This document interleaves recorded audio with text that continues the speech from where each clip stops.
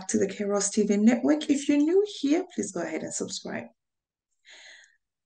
Kay Rose TV is your go-to channel for inspiration and life-changing stories. Today, we have a very special guest, a former model and currently working as a nurse. She is here to share a very powerful story of how she overcame a situation where her trust was betrayed by someone that was supposed to be guiding her spiritually. So she's here to tell us how she found the strength to move forward and exactly what happened to her. So don't go anywhere. Just grab your snacks, grab your cup of tea. Let's dive into this story together. Mpundu, how are you? It's nice to have you here. And well, thank you. And how are you? I'm good, thank you.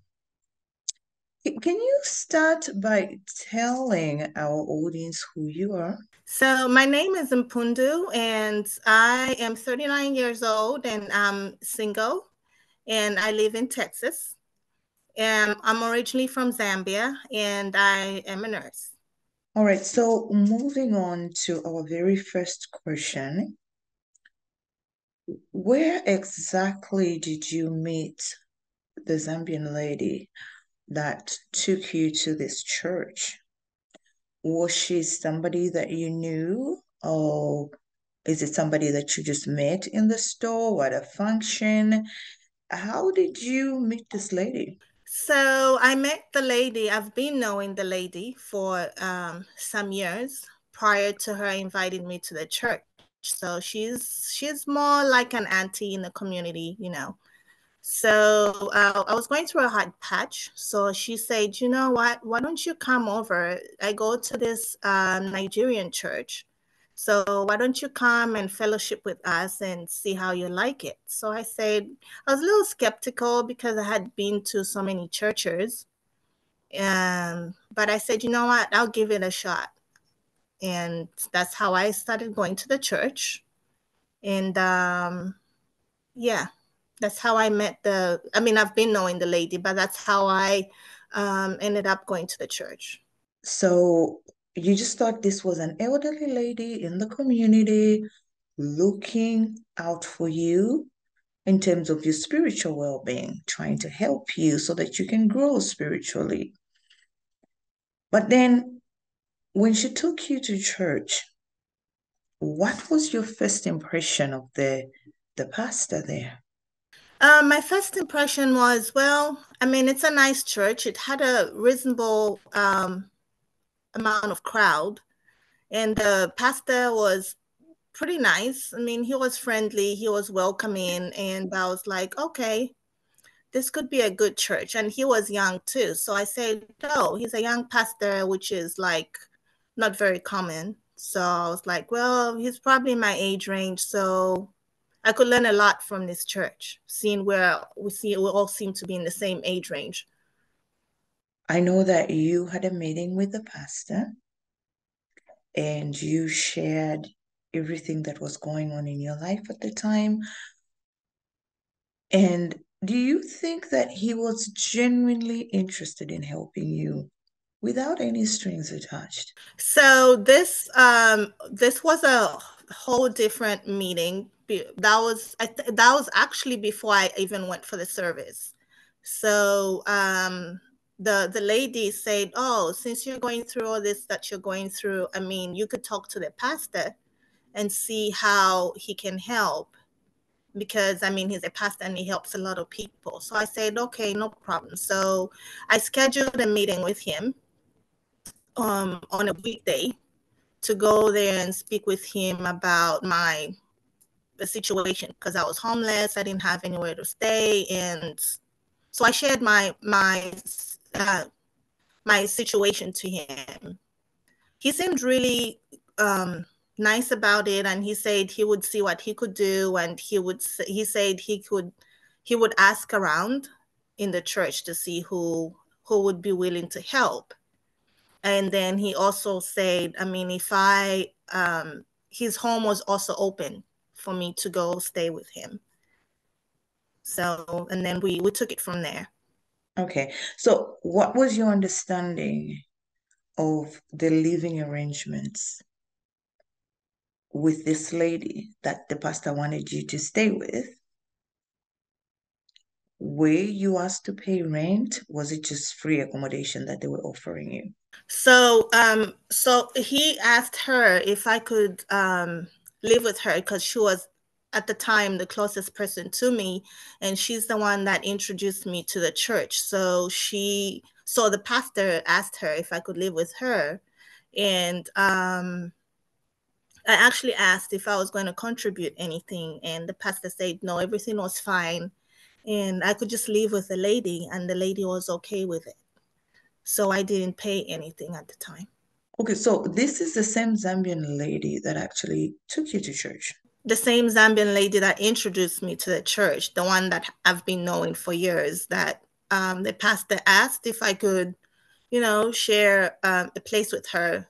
And he asked her because he only had, he was, she was living with two, two of her daughters so that's how she said, Yeah, I mean, that's fine. That's okay. I don't mind. She's just like a daughter to me. So she can come and live with me. Okay, so I know the pastor had also offered his place for you to stay with him. Mm-hmm. So the pastor offered his place to stay as well, but I declined the offer because I was like, okay, um, I mean, you're single, and you don't have a wife. So it just didn't sit right with me having to go stay with him. That was very smart of you to say no. I think that no single woman should be living with a man that they're not married to. So I'm glad you said no. So, were you comfortable living with the family that you were living with? Yes, I was actually very comfortable staying with the lady because she really welcomed me and she really did treat me like her own daughter. So I was comfortable staying there. We would go to church together, come back home, and everything was good. All right. So I know that we wanted to have this conversation to share what happened when the pastor invited you over to his house. So, how did you end up at his house? What happened? So um, it was one time that we, I mean, I could see that he was really being nice, nice, nice to me, like nice. So I thought it was just being nice, you know, but he was extra nice. Mm-hmm. He would offer sometimes to drop me off at the lady's house. He actually, you know, he would check up on me uh, when I'm at the house, he would call me, he would text me, he'll be like, Oh, I'm just checking up on you, you know, and all that. So I just thought he was just, you know, just being genuinely nice. Mm-hmm. But as time went on, uh, there was a time that, you know, the lady wasn't able to pick me up from church. So I ended up take, getting a ride from him. He offered to give me a ride to the house. But before going to the house, he suggested, oh, you know what? Um, I need to pass by my apartment mm-hmm. so I can, then I can drop you off. Once I, you know, go to my house, drop off my Bible and everything, then, you know, I can drop me off. So I said, okay, that's fine, no problem. So we got to his apartment and he said, oh, take a seat. He offered me a drink. Mm-hmm. And I was like, okay. And then um then he started to say some things, you know, he started to say things like, Oh, have you ever considered being married to dating or getting married to a pastor? So I said, um, no, not exactly, but I've had prophecies come to me saying I am going to be married to a pastor someday. So I mean, it was just felt like was his conversations. Then he he kept on being really really nice, and um, that's how I wa- I was at his house. Then he said, "Oh, you know, it's getting late. I'm not gonna be able to drop you off at the lady's house. So um, if you could spend the night, just spend the night. I mean, I'm not going to do anything to you, nothing of, of any sort. But I say, I can't sleep here. I really need to go. I really need to go to um, Auntie's house because it just doesn't feel right for me to stay in your house, considering you're a pastor and you're a single man. So he kind of it it kind of didn't sit well with him. So he kind of got upset about it. But I really insisted that I really wanted to go home. Then he started to make passes at me. He um, started touching me and started, you know, hugging me and wanting to kiss me and all that stuff. So that's what um, happened that day. And then he, um, because I was retaliating, he he said, "Okay, I'm gonna call you a cab to go." Then there were no Ubers, so we just used to use cabs. So he said, "I'm gonna call you a cab so you can go." That's how he called me a cab, and I um, went back to the lady's house. But that still didn't stop him from making any further advances. So, did you end up going home that night? So, um, after he, after I told him I really wanted to go, he said, "No, you gotta wait till the morning."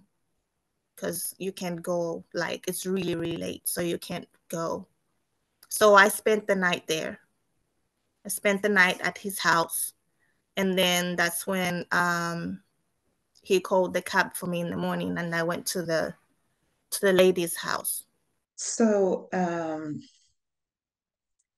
did the pastor provide you with the spare bedroom when you stayed at his house I mean, what really happened that night? Did he force you to sleep in his room? Yes. So when I was at his house, he was, you know, touching me and hugging me and feeling me, all that stuff that a man of God or a man that's not your husband is not supposed to do.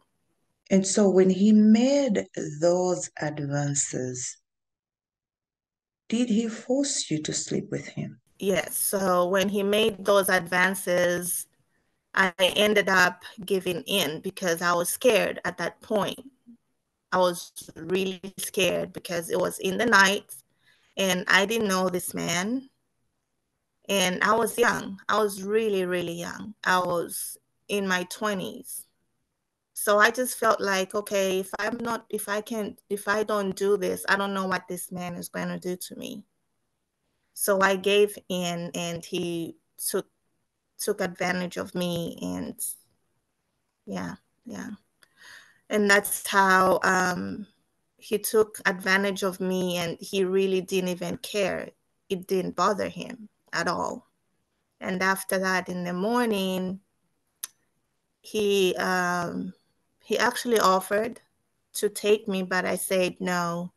If you could just call me a cab, because at that point I just didn't trust him anymore. And that's how I took a cab and went back to the lady's house. And um, yeah. I'm so sorry that you had to go through what you went through. Uh, a true man of God doesn't do such kind of things. You know, he's supposed to be your father, your spiritual father, to protect you instead of using you.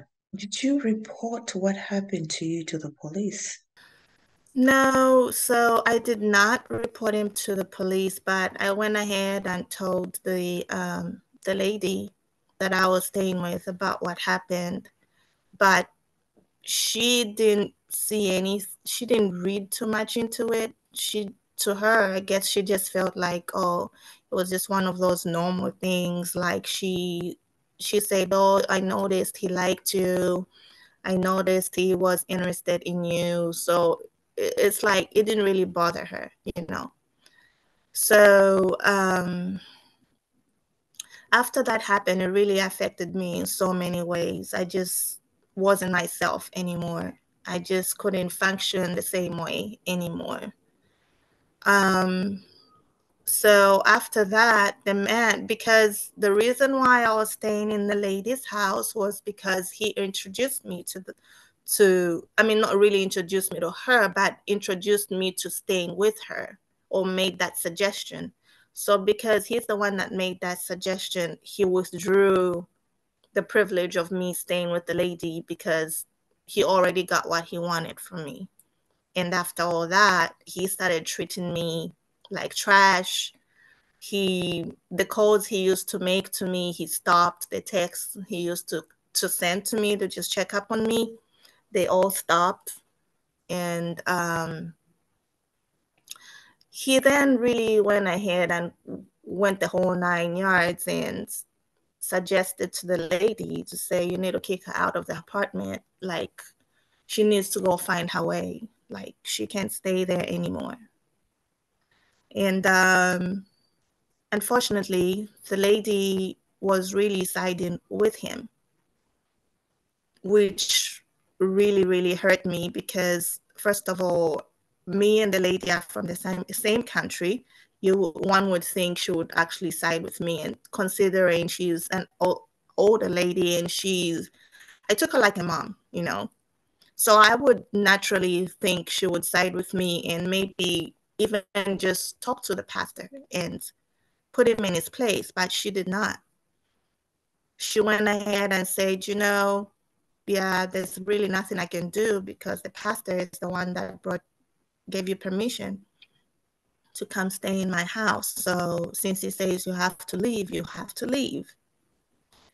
So at that point, I was so confused. I had no idea. I didn't know what to do. And he started making a whole bunch of threats when I said, Oh, no, I'm not going anywhere. There's nowhere I can go. He started making threats of all sorts of threats. I'm going to call the police. I'm going to call immigration. I'm going to do this and that. Wait a minute. So he started making threats? Wow. I mean, instead of apologizing, he started making threats. Yes. That's exactly what happened. So, what happened next?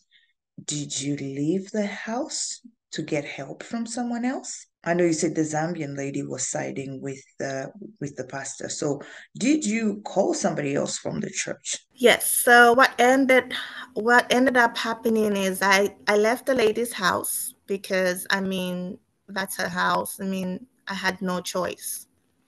I left the lady's house and I I think I went and stayed somewhere else. I was just at that point, I was just running from home to home, home to home. I was literally homeless. I was just moving around, moving around. And even when I moved out of the lady's house, he still was, you know, sending threats talking about how if I don't leave town, he really wanted me to leave the state of Texas to go to a whole other state wow. to get away from the state of Texas. And I feel he did that because he felt threatened. And I feel he felt like, okay, I'm going to tell the whole world and I'm going to, you know, report him. What did you do when this man started making threats and telling you to move out of state? and that he was going to report you to the authorities. I mean, what did you do? I asked him why he was doing all this. He said I was the one in the wrong. And I asked him, what wrong did I commit? He would not tell me. He just kept on insisting that I should leave town. Otherwise, he would make my life a living hell in this uh, state. So he went on and on and on and on about it. And where was the Zambian lady when all these things were happening?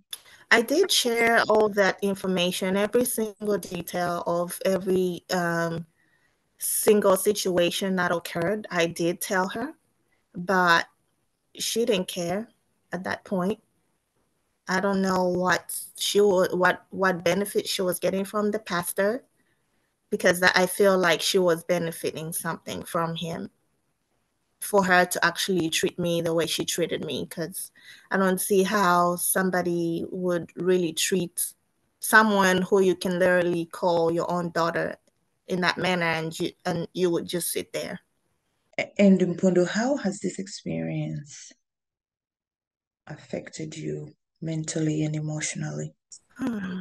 to be honest this whole situation has really affected me emotionally psychologically even physically it has really affected me.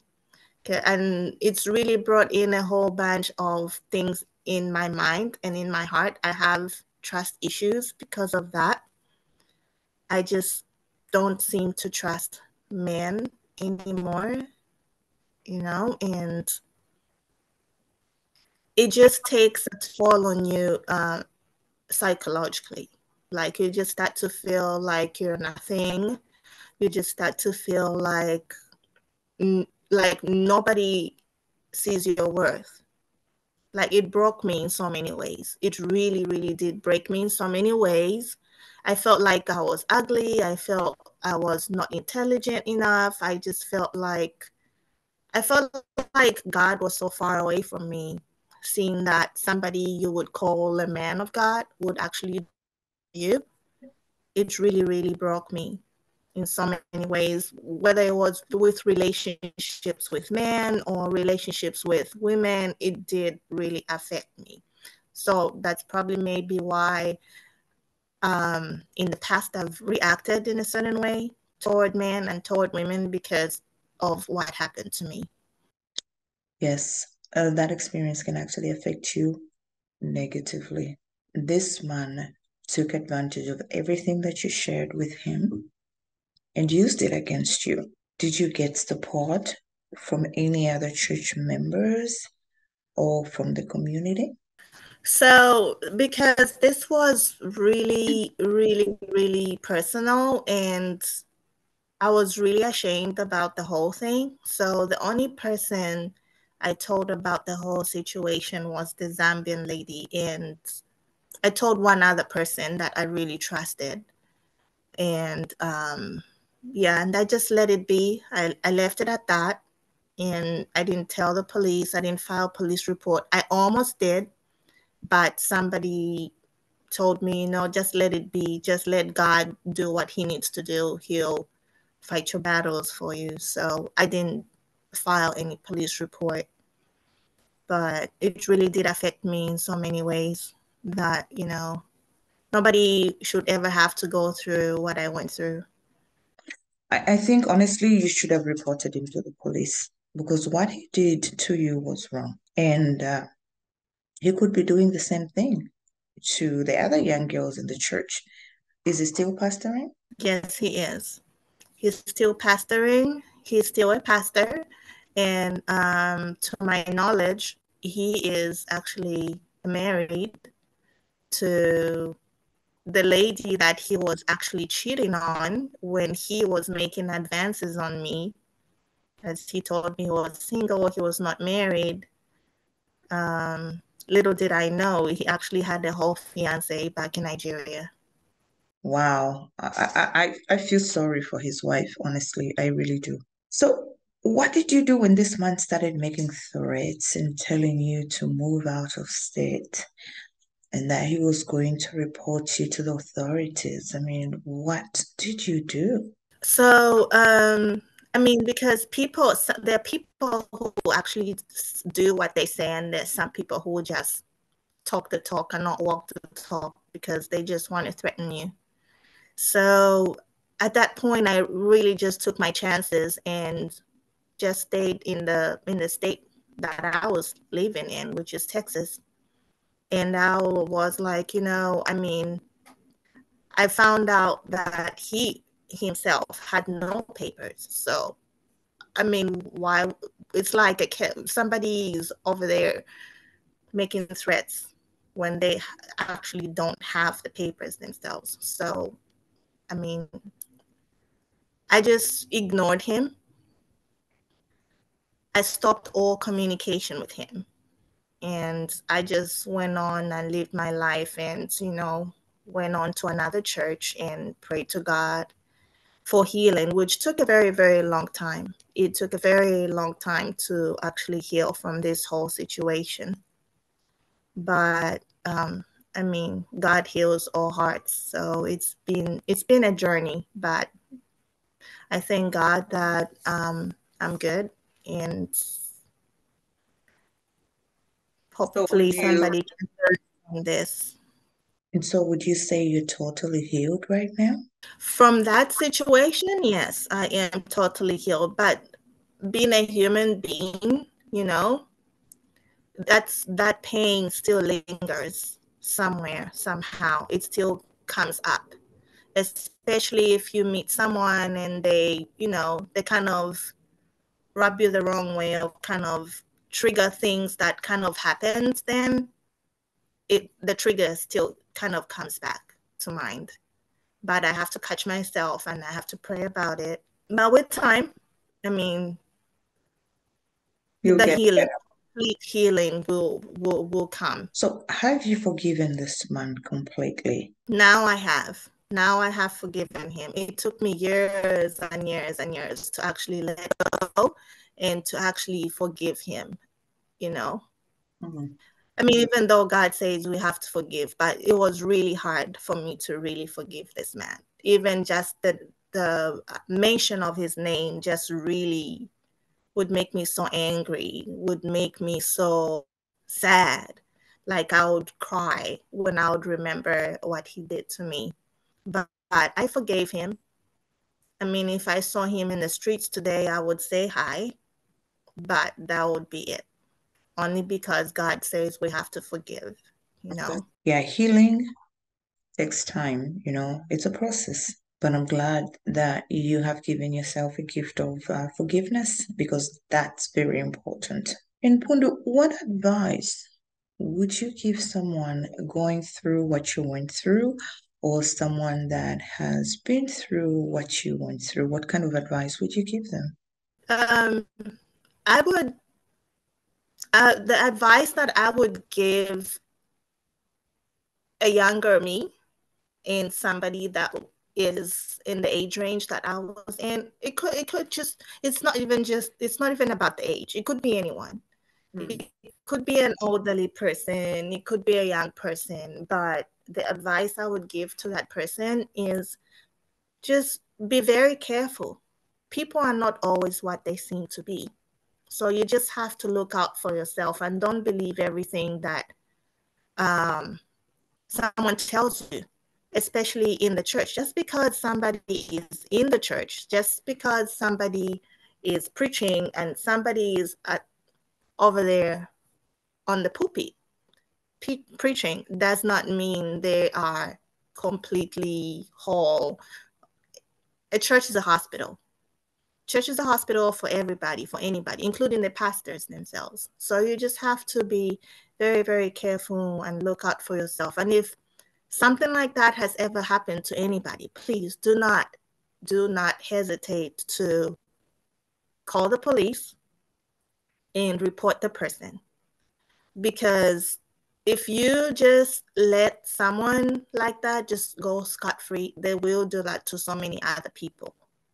And they'll never learn. And they'll think they're doing the right thing and everybody else will keep thinking no it's okay to just molest people and just shut them down and just you know shut shut them by you know giving them all sorts of threats.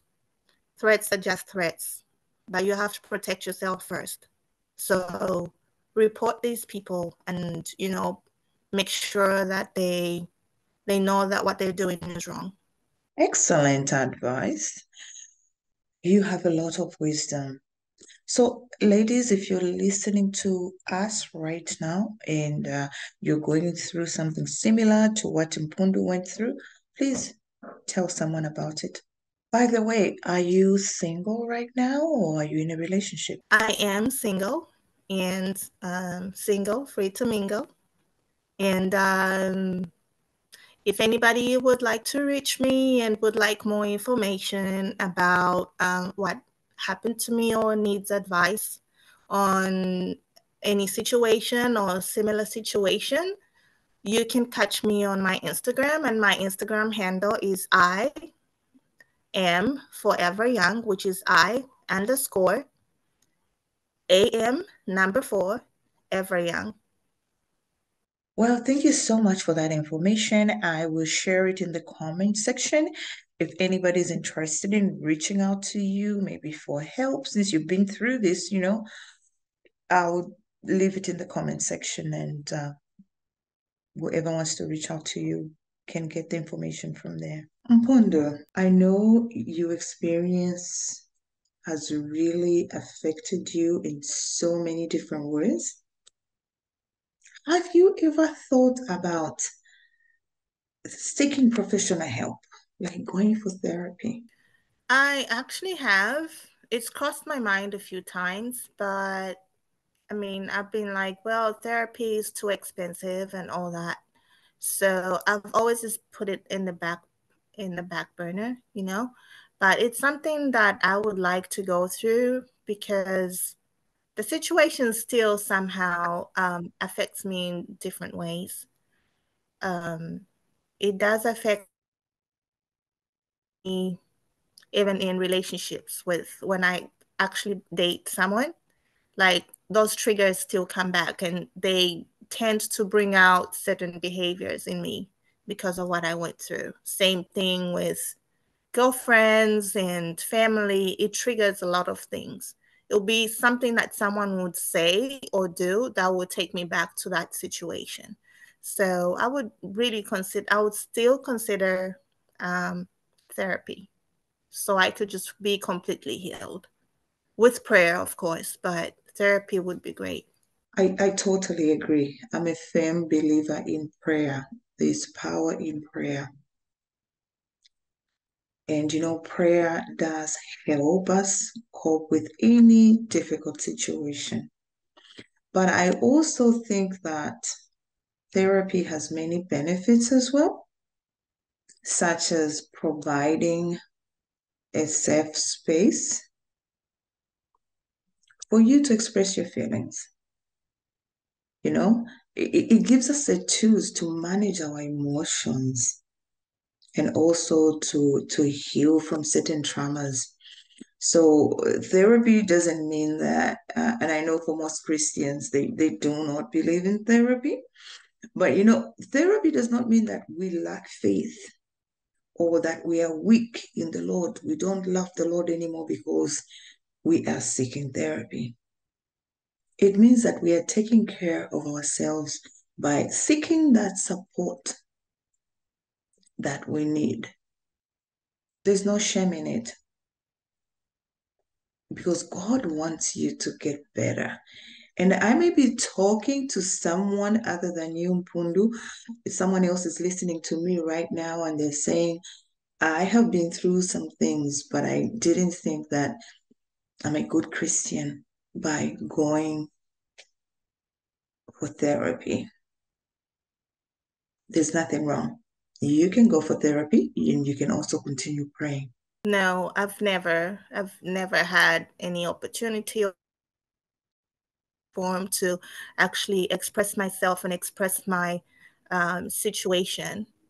Um, and me being on this platform is really an a really big privilege for me because it's really helped me in a way, and um, it's some sense of healing, complete healing to myself. And it's a good thing that it's going to bring some healing to somebody else because there's obviously millions of women and women and men too, because there are also women that take advantage of um, of men that could actually learn from this situation and heal from it. That is very true. I totally agree with you. Um, is there anything that you would like to share with our audience? Um, I would say, you know, um, certain situations that we go through in life really certain certain behaviors that we portray in in um in ourselves when we speak to people when we interact with other people um, is because of what somebody has been through. So, really, we shouldn't judge people based on how they come off because you really don't know what somebody has gone through. So, you, you should take time to get to know people and take time to, you know, just learn someone because somebody could have been going through like something that I went through um, has actually affected a lot of relationships that I've been in dating relationships because of what I went through, because it triggers a whole lot of um, negative energies and negative um, emotions in me. So I personally try not to judge anybody based on their behaviors. Of course, I'm human. I mean, I will sometimes, not that I want to, but it happens. But then I'll, you know, remind myself and tell myself I can't judge anyone. So, um, yeah, so I, I would encourage people to just be kind to one another. And uh, when you go through such situations, just make sure you seek therapy because that will really help. And um, you got to pray too. It, it can be hard to pray when you go through stuff like that, especially if it's the so-called man of God that does that to you. But with time, healing comes through and you will be healed and you will get help. And always make sure you get help. Never feel sorry for someone that's trying to destroy your life or trying to destroy other people's lives. That's the um, one thing I can advise anybody that's been through the situation or hasn't been through the situation. And I just hope that um, this podcast has actually um, touched someone and is going to help someone. So there's always hope out there. And yeah. I thank Kay for bringing me on your platform to be able to share my story and be able to uplift someone and encourage and help help a life. Maybe somebody was about to take their life, but I'm glad that I was given this opportunity and privilege to be on your network. Thank you so much. Thank you so much for your kind words. I really enjoyed having you here. You have been through a lot. I truly admire your strength and your courage. My prayer is that the Lord will continue blessing you, guiding you. And um, I know that there's someone out there that is going to appreciate the woman of God that you are, the woman that you have become. And uh, I just pray that the Lord will always protect you from such kind of people that you will never have to go through this in your life again. And remember, God loves you so much. He will always love you. Thank you so much, everyone, for listening continue coming back to our channel. Our goal here is to inspire you. And we also do share testimonies to bring glory to the Almighty God. Take care. Thank you for listening. Thank you for watching.